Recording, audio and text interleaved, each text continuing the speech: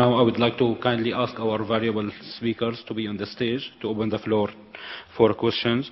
We will uh, have two questions from the female side and then we'll open the floor for the male side. So, Dr. Mahazen, if you are there. Any question from the female side? Yes, we have. Yes, please. Uh, Assalamu alaikum. I am Dr. Jubair Abwat from Abha Maternity and Children Hospital.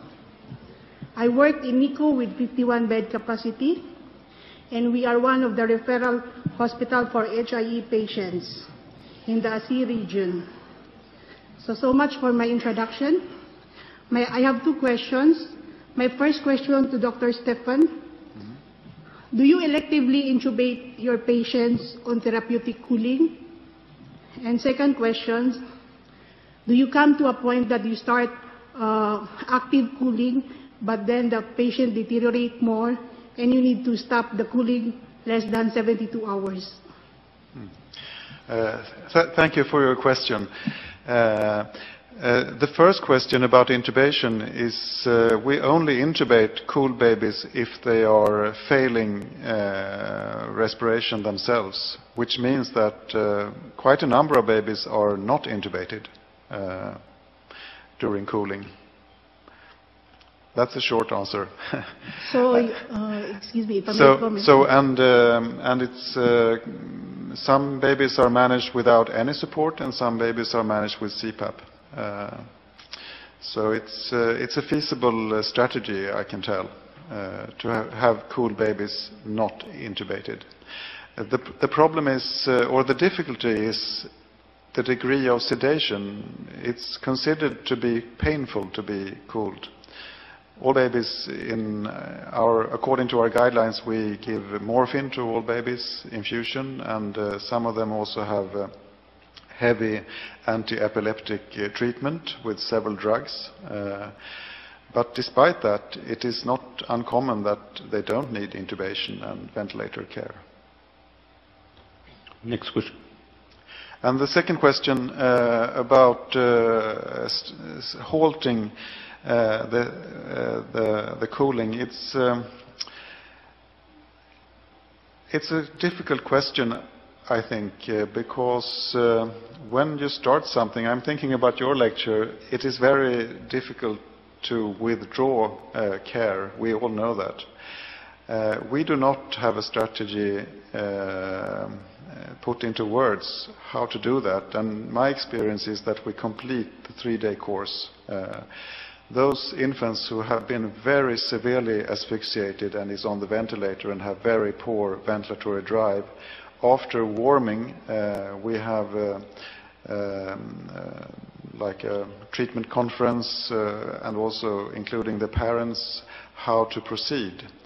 And it's not uncommon that we, um, after a few days, aim for elective extubation and see how the baby is doing. Uh, that is our strategy, at least.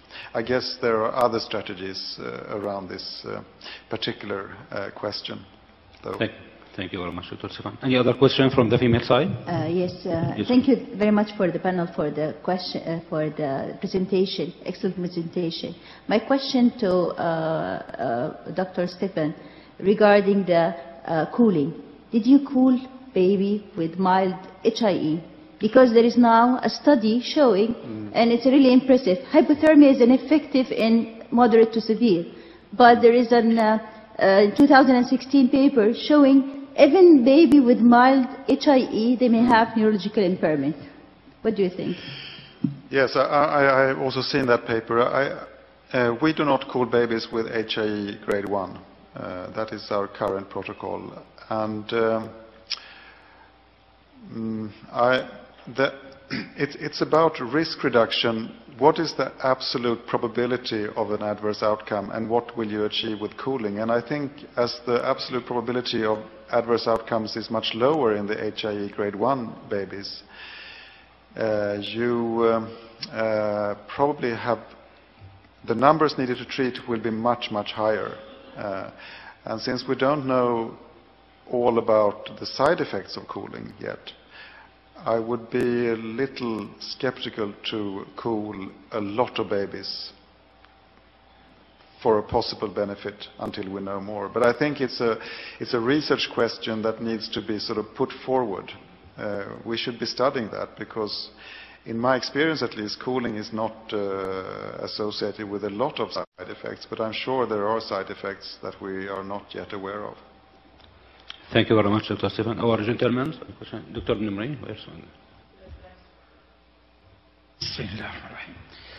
For the palliative care, hopefully we don't reach to that in our neonate, but sometimes we may decide to put a baby DNR, not to be resuscitated uh, in cases of grade 4 IVH or hypoxic encephalopathy.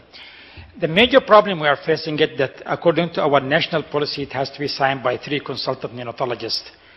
And what we are doing here, we are doing surface consultant every week or every other two weeks.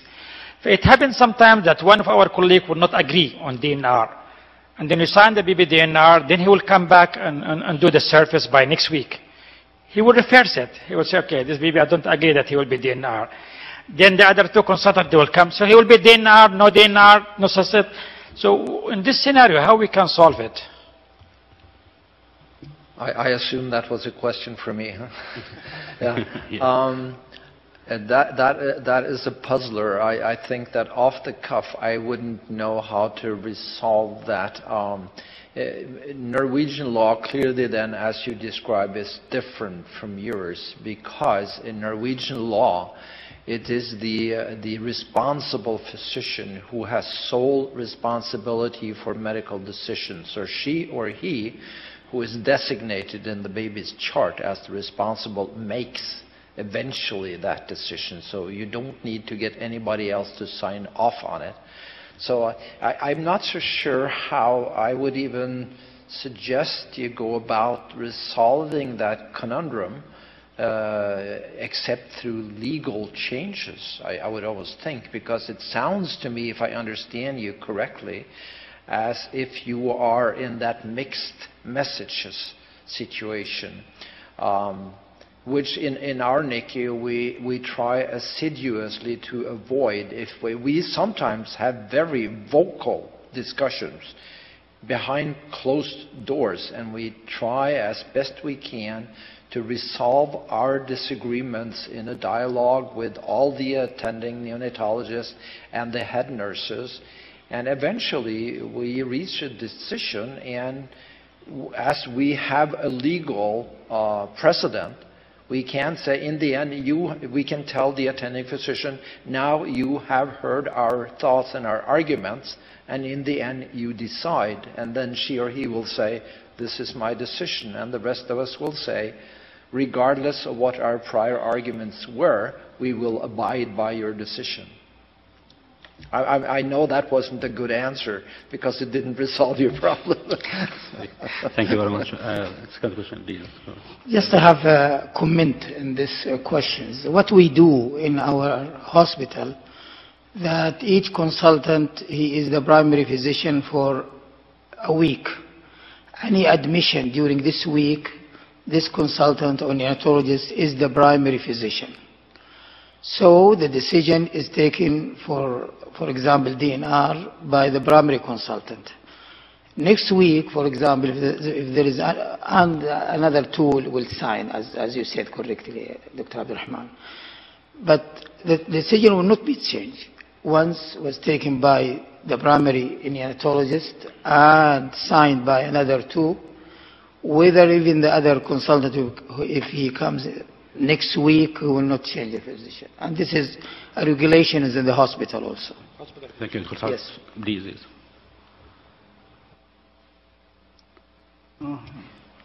Uh, my question to Dr. Stephen. Uh, we face sometimes babies at birth who are depressed, but uh, not fulfilling the criteria of uh, asphyxia as per College of Obstetric and Gynecology. So how, how we, we can deal with this baby in terms of diagnosis and cooling?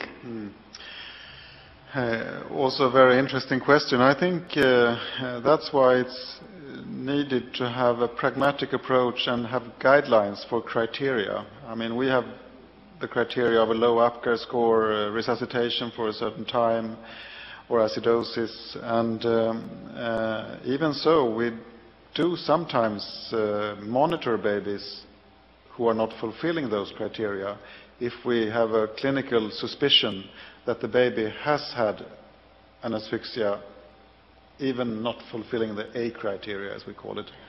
So I think uh, um, one suggestion would be to admit those babies and monitor them, and if they still develop signs of hypoxic and ischemic encephalopathy of a more severe grade, that baby could still be a candidate, even though he or she does not fulfill the initial criteria.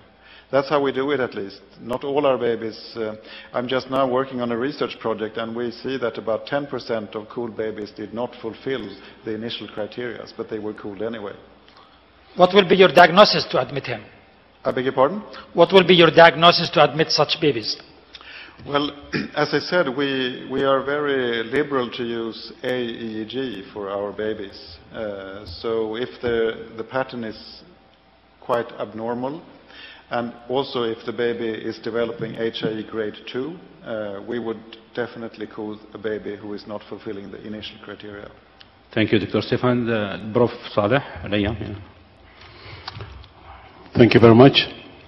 Uh, actually, I have three points regarding the neonatal palliative care in uh, Saudi Arabia. Number one, we don't have a neonatal palliative care program in Saudi Arabia.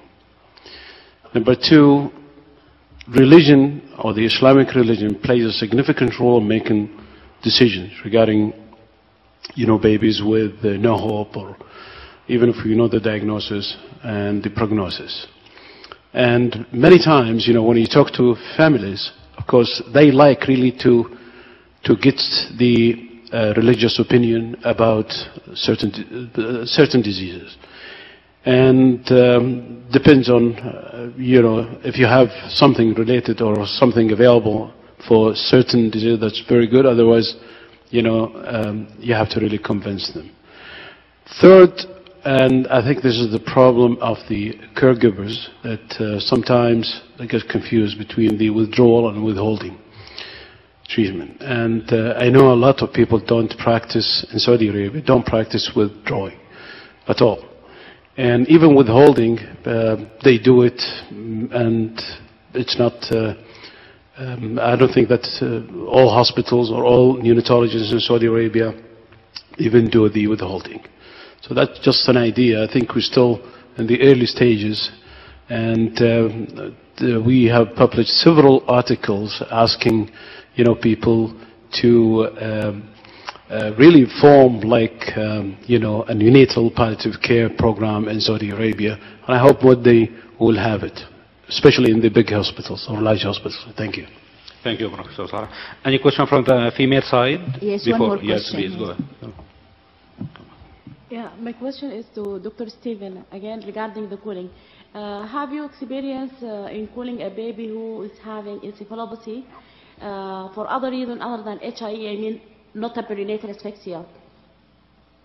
Because we came uh, across one baby who was uh, completely normal and he was coded in the postnatal ward and uh, had this CPR and after that revived and we know that he's subjected to acute hypoxic insult. Uh, will he be a candidate for cooling in the first six hours post this event? Uh, the short answer is yes, uh, such occasions occur. And one typical example is postnatal asphyxia in the maternity. If a baby is found uh, by the mother's breast completely lifeless and blue and shows uh, clear signs of uh, encephaloph- encephalopathic uh, uh, symptoms afterwards, uh, such a baby may be considered a candidate for cooling. So that is the short answer. But it's, it's a tricky uh, situation, and we usually try to uh, phone each other up and have a discussion over the phone with other colleagues, uh, not only restricting the discussion within the unit, but also speaking to others, what people think. Uh, uh, so, uh, so the answer is that we, yes, sometimes uh, consider cooling uh, for non-typically asphyxiated babies. Thank you, Dr. Stefan. Last question from the female side, then we will have one from the male side. Any, any question from the female side? Please, Dr. Wahid. No, no, no. Thank you, Dr. Mahmoud. Uh, my question about uh, Apgar score. Sometimes I have uh, a baby born flaccid and required immediately intubation and uh, positive pressure uh, ambobagging. And at one minute uh, and five minutes, uh, the baby is mm, pink with good tone and uh, the heart rate is good. Uh, but with the AIDS, with the tube and uh, ambobagging. Um, and here in Saudi Arabia, there is a lot of legal issues regarding these critical moments after the delivery. How would I um, record or score the Apgar score uh, with AIDS, with uh, intubation? And also another question, if there is any mean to um differentiate between intrauterine or extrauterine asphyxia, or um, can I differentiate away from the AEG? Uh, Well, the APGAR score question is, um, mean, of course, the APGAR score was developed in a time before all neonatologists were around. Uh, The way we do it is that we try to follow the original idea that, uh, I mean, if the baby is on intubated and the baby is well oxygenated, it would be a 2 for color. So That's how we would do it. Uh, so such a baby would have a relatively high score if it has a good um, um, color and good tone and so on. But of course, the context and the situation for the baby matters. How you think about the asphyxia from a clinical perspective. Uh, the second question, I, I was not exactly sure what you was it about intrauterine and extrauterine asphyxia. Uh, uh, I'm asking also about the legal issues. Ah, the legal issues. Yes, um, who is the responsible one for hypoxia, the, the obstetrician or the pediatrician? Hmm. I see. Well, in, I can only speak for Sweden now, that luckily we have, um, we don't have such a complicated legal system as in the US, for example. Um, So um, uh, the short answer is that we, we are always doing audits of severe asphyxias, uh, but we are not having, um, um, what to call it, um, uh, a blaming culture like in some parts of the United States, for example. So we're not looking at the responsibility in that way. Of course, we try to disentangle in the audit, was it something, could this be explained somehow? And we're also working um, uh, into uh, filming the resuscitations, for example, to try to learn from what we do and what can be improved. Uh, But the idea is not from a legal point of view, but rather from a quality point of view, I would say. Clear. Thank you. Stefan. One last question, maybe, Dr. Mansour. I have a question for Dr. Stephen. So I'd like to hear from you your experience and advice regarding the cooling therapy for encephalopathy secondary to the urea cycle defect like hyperammonemia. Well, uh, from a practical point of view, um, I think sometimes we cool babies who are not asphyxiated. They show signs of encephalopathy, but it's not related to asphyxia. So the treatment is usually initiated before we know a diagnosis of a metabolic disorder, for example. And our strategy is to follow the protocol we have. So we continue cooling for the time that we have started. Uh, I mean, we continue cooling for 72 hours and, and treat the baby as we treat other cooled babies. So that is the short answer. But we don't specifically call them if we know beforehand that they have a metabolic disorder. But that is, in Sweden at least, not occurring because metabolic disorders are not diagnosed antenat- prenatally in Sweden. Thank you, Dr. Stefan. Last 30 seconds, maybe, Dr. Imad, if you are. Thank you, Dr. Mindani. Uh, my question is for uh, Prof. Hansen regarding the palliative care. I, I know from your lecture that you have uh, uh, described how the antenatal care and uh, counseling the family in the presence of the prenatologist. Uh, again, uh, uh, I know sometimes buying in the family or getting them in line with your decision can be yani, having difficulties. My question is regarding after delivery. If the family insist in actually uh, having, for example, left hypoplast or a metabolic patient or patient uh, who has those uh, disease from the list you mentioned uh, suitable for palliation, but they insist on going uh, like along ahead with uh, everything. How you will like sit and approach them again, even though like you know the discussion happened, but now they are seeing their baby outside and they want everything being offered for this baby. Well, that's a very good question, which I have come across more frequently in my practice in America than in Norway, actually. Uh, the, there is a legal answer to this, and then there is the caring person's answer. The legal answer in Norway is that uh, if the baby is my patient, the, responsi- the legal responsibility for medical decisions rests with me. And intubation, ventilation, dialysis are all medical decisions. So that's the legal answer. But the humane answer lies in continued dialogue, and ta using time to listen to why do the parents think the way they do, where are they coming from, what's their life philosophy, what is their religion, and can we over time find a meeting point of minds and souls where we can understand each other. So if I can stabilize the baby for a while and create a time zone where the parents and we can get to know each other and can try to go behind the words and find out what's the philosophy, what are the thoughts. It's my experience that most of those situations can be resolved with time and care and patience. So if I can do that, I will. There have been uh, very few rare occasions where the parents and we have not been able to meet the minds.